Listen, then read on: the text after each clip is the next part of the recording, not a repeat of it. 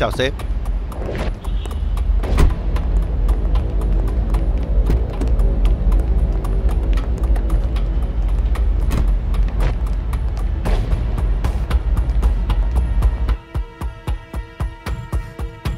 Dốc toàn lực vào việc đi.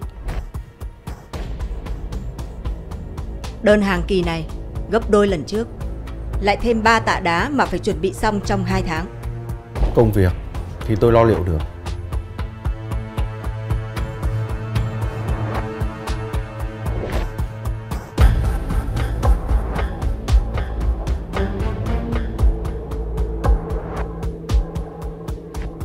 Tôi đang băn khoăn một điều. Tại sao chuyến hàng lần trước chúng ta lại sập cầu?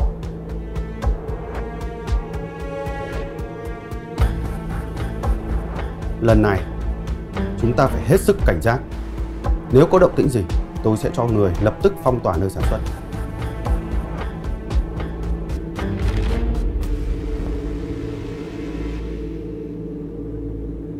Sao? Sếp cho bọn đàn em điều tra khách hàng đến đâu rồi? Chuyện của Sơn là cứ làm cho đúng tiến độ.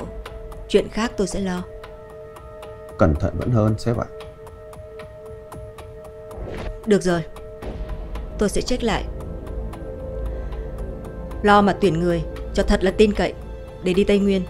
Ờ,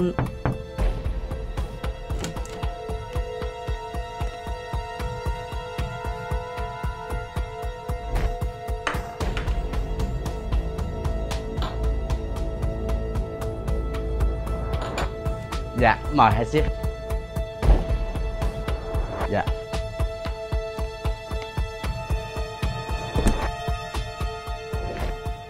Sơn tin nó chứ. Nó theo tôi cũng lâu rồi. Nó là thằng trung thành. Tôi thấy nó cũng nhanh nhẹn. Hy vọng là dùng được. Nó biết việc, biết chuyện. Tôi cũng muốn mang nó theo.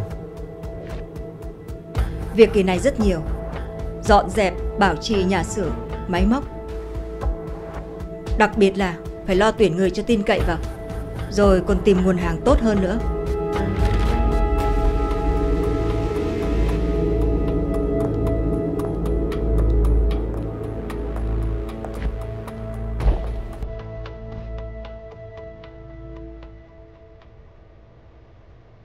Chuyến đi kỳ này rất nguy hiểm. Ở đó lại rừng thiêng nước độc. Anh phải hết sức cẩn thận.